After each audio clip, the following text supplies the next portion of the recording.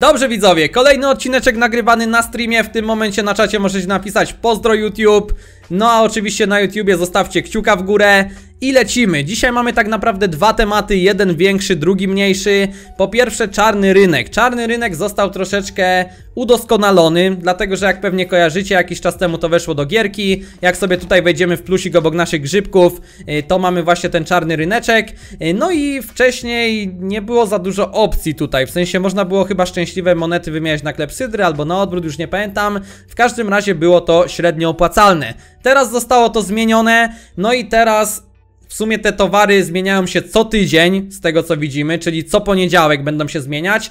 Yy, No i nie wiem, czy będą takie same, czy będą inne. Natomiast teraz jedna, jedna oferta jest dość mocno opłacalna i jest to właśnie ta oferta za 250 grzybków mamy 2750 szczęśliwych monet. Czy to się opłaca? No szybka kalkulacja oczywiście opłaca się, dlatego że zyskujemy, o ile oczywiście kręcimy za grzyby, tak wiadomo. O ile kręcimy za grzyby, to się to jak najbardziej opłaca, bo zyskujemy około 25 grzybków, więc y, polecam sprawdzać ten czarny rynek, po prostu w ostatniej aktualizacji został on usprawniony, polecam go sprawdzać, y, z racji tego, że teraz co tydzień może faktycznie coś ciekawego i opłacalnego być. Także no, tutaj możemy to sobie kupić jak najbardziej, transakcja przebiegła pomyślnie, szczęśliwa oferta dla ekspertów, mamy wyprzedane, drugi raz już nie możemy tego kupić, no i mamy oczywiście też szczęśliwe monety. Więc mówię, w ten sposób jak kręcimy za grzybki, to 25 grzybków sobie zaoszczędzamy, tak na szybko licząc. Możemy zaoszczędzić, yy, no i oczywiście jeszcze nam jakieś grzybki tam z koła wypadną i tak dalej, więc yy, generalnie na plus. Generalnie jak najbardziej na yy, plus, jeżeli chodzi o ten czarny ryneczek. Pamiętajcie, żeby co poniedziałek go sobie sprawdzać. Kolejną sprawą jest aktualizacja urodzinowa, dlatego że już powolutku dostajemy przecieki co do tej aktualizacji. No i już Wam tutaj czytam dokładnie o co z tą aktualizacją chodzi. Teraz tak, odpalamy sobie to, no i mamy coś takiego jak z pamiętnika dewelopera wpis 6.1, może ja tutaj w sumie będę czytał, bo mi wygodniej na drugim monitorze. No i co mamy napisane? W czerwcu zbliżamy się do 15. rocznicy powstania Shakes and Fidget, w związku z tym chcemy ogłosić kompleksową przeróbkę UI, UX, nie wiem jak to dobrze przeczytać, która ma na celu poprawę wrażeń z gry. Chodzi tutaj generalnie o design, jakby gierki, o powiedzmy, no jakieś tam po prostu menu, tak? Menu gry. Rozumiecie o co chodzi. Zresztą na końcu tego wszystkiego będą screeny yy, poglądowe, jak to może wyglądać. Dostrzegliśmy potrzebę świeższego i bardziej intuicyjnego interfejsu. Dzięki przeróbce klasera dokładności daliśmy wam już trochę przedsmaku. Dokładnie. Czyli to, co się stało z klaserem, to jak ten klaser teraz wygląda, yy, no wygląda bardzo ładnie, ale moim zdaniem nie jest za bardzo funkcjonalny. Może to kwestia przyzwyczajenia. Natomiast tak jak mówię, no klaserek to jest właśnie przedsmak yy, tego, jak to wszystko ma być zmieniane w tej aktualizacji już na 15 urodziny yy, gry. Lecimy dalej. Motywacja do zmian. Od momentu powstania Shakes and Fidget znacznie ewoluowało pod względem rozgrywki, podczas gdy menu i nawigacja gracza w dużej mierze pozostały niezmienione. W odpowiedzi na opinie i nasze obserwacje zdecydowaliśmy, że nadszedł czas na aktualizację, która sprawi, że gra będzie bardziej przystępna i przyjemniejsza zarówno na urządzeniach mobilnych, jak i na komputerach PC. Czyli teraz jeżeli chodzi właśnie o y, Shakesa, no to nie będzie aż takiej różnicy, przynajmniej tak zapowiadają, między rozgrywką czy to na telefonie, czy to właśnie na y, komputerze. No i mamy nasze cele. Gra powinna sprawiać przyjemność i być łatwa w nawigacji, niezależnie od urządzenia. Zadbanie o to, aby nowi gracze mogli łatwo zrozumieć grę i wejść do niej bez poczucia przytłoczenia. Długoletni gracze będą cieszyć się świeższym wyglądem, zachowując y, znajomy charakter gry pewnie. Wstępne korekty. Najpierw skupiliśmy się na kluczowych aspektach. Usprawnienie nawigacji, aby, były, aby była bardziej intuicyjna, przerobiony samouczek, aby ułatwić nowicjuszom start, no i przeprojektowanie ekranu postaci i plecaka dla lepszej przejrzy- przejrzystości i dostępności. Ko- korekty specyficzne dla funkcji. Następnie przeszliśmy do ulepszenia głównych funkcji gry, aby dostosować je do naszego nowego interfejsu użytkownika. Kowal, Wiedźma oraz Gildia. Te kluczowe funkcje zostały znacząco zaktualizowane, aby bezproblemowo pasowały do nowego układu. Także no, to taka ciekawostka, że te rzeczy, które dochodziły jakby później, albo coś tam powiedzmy były, miały zmieniane w międzyczasie, yy, no to one jakoś tam yy, są dostosowane do właśnie tego nowego układu. Drobne poprawki funkcji. Prawie każda inna funkcja została dostosowana w celu poprawy integracji i funkcjonalności. WC, sklepy, sala chwały, podziemie, twierdza, pupile oraz arena zostały udoskonalone, aby zwiększyć interakcję i przyjemność. Wierzymy, że te zmiany sprawią, że Shakes and Fidget będzie przyjemniejsze i dostępne dla każdego. Więcej w następnych wpisach. No i dobrze, to był pierwszy wpis, który dostaliśmy 16 maja. Ja tak na szybko czytam, możecie sobie sami przeczytać. Też to mam dość małe na, na monitorze drugim, e, więc y, nie wszystko widzę, bo jestem ślepy, jestem już stary. Natomiast mówię, przechodzimy do kolejnego wpisu, który pojawił się dosłownie w tym momencie 4 dni temu. I teraz tak, e, tu mamy wpis 6.2. Witamy w drugiej części naszej siedmioczęściowej, w ogóle to jest siedmioczęściowa seria yy, poświęconej przeróbkom UI, UI, nie wiem jak to przeczytać, nieważne, nie będę się ośmieszał, naszej gry, interfejsu naszej gry, o może tak.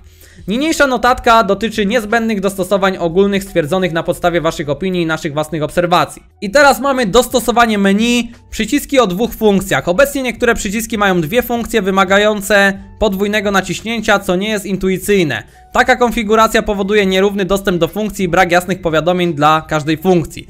Dokładnie, czyli teraz, jak na przykład, nie wiem, tutaj w gabinecie magii, jak sobie wejdziemy, no to mamy albo gabinet magii, albo jak drugi raz klikniemy, to mamy wiedźmę, no to będą chcieli się e, tego pozbyć. Ograniczenia rozbudowy. Nasz istniejący projekt ogranicza możliwość dodawania nowych funkcji, czyli no Yy, to już powiedzmy pod jakieś przyszłe aktualizacje, jeżeli jakieś nowe funkcje będą dodawane, to ta zmiana tego interfejsu jest wymagana. Użyteczność mapy miasta, reprezentująca Reprezentacja, przepraszam, funkcji. Brakuje podstawowych elementów takich jak podziemia czy menedżer areny. Inne z kolei są niewystarczająco uwidocznione, co utrudnia poruszania się po mapie gry. Czyli no jak wejdziemy tutaj sobie na tą, powiedzmy, główną mapkę, yy, no wy tego nie widzicie, ale wiadomo o co chodzi, no to to też ma zostać przebudowane, na to wygląda.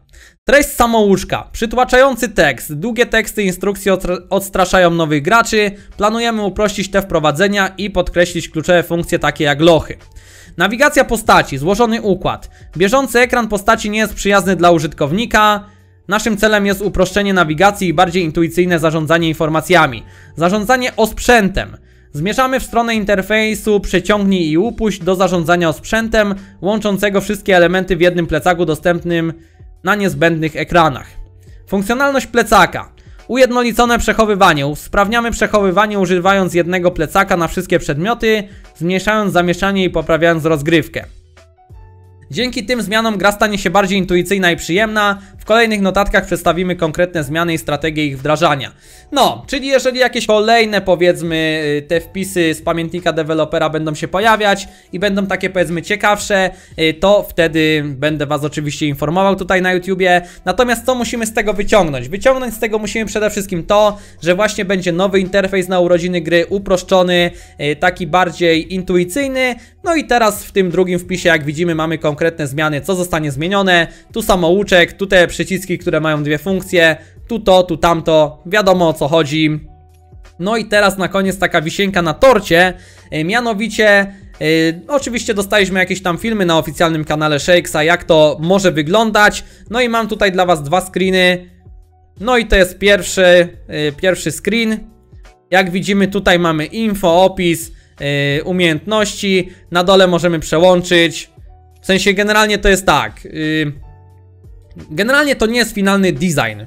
Jak widzicie w prawym górnym rogu not final design, czyli po prostu y, nie jest powiedziane, że to tak będzie na pewno wyglądać na 100%, ale no jest to bardzo no takie dziwne, w sensie dziwnie to wygląda jak dla mnie, yy, przynajmniej na tym screenie.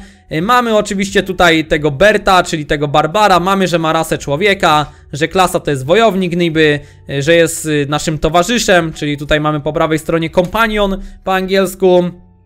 No ale dziwne, natomiast to to jeszcze pół biedy, ale tutaj, tutaj zobaczcie jak to wygląda.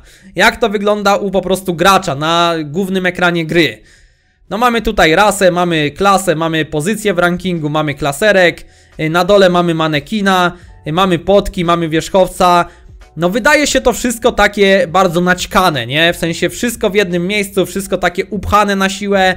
No i niezbyt intuicyjne, nie? W sensie y, prowadzą do tego, żeby to było właśnie intuicyjne. Chcą, żeby to było intuicyjne. No a wygląda to tak dość dziwnie, szczerze mówiąc dziwnie. Oczywiście podkreślam, to nie jest finalny wygląd, to nie jest not final design, jak jest napisane w prawym górnym rogu, yy, ale no niezbyt intuicyjne moim zdaniem. Moim zdaniem no nie prowadzi to do tego, ale zobaczymy jak będzie wyglądać finalna wersja.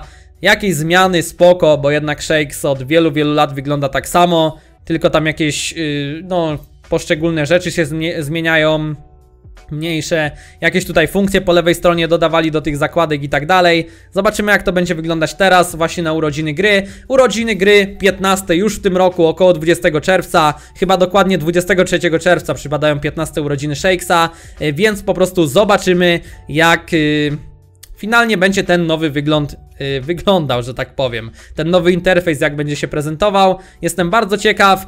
Yy, no i oby nie była to aktualizacja, która prowadzi do tego, że gracze bardziej się zniechęcą i odejdą z gry, aniżeli wiecie, będą grać dalej i może jacyś nowi gracze również zaczną w Shakesa grać. Zobaczymy jak to będzie, na razie mamy takie przecieki, takie informacje. W każdym razie no wielkie zmiany interfejsu jak sami widzicie mimo wszystko się szykują.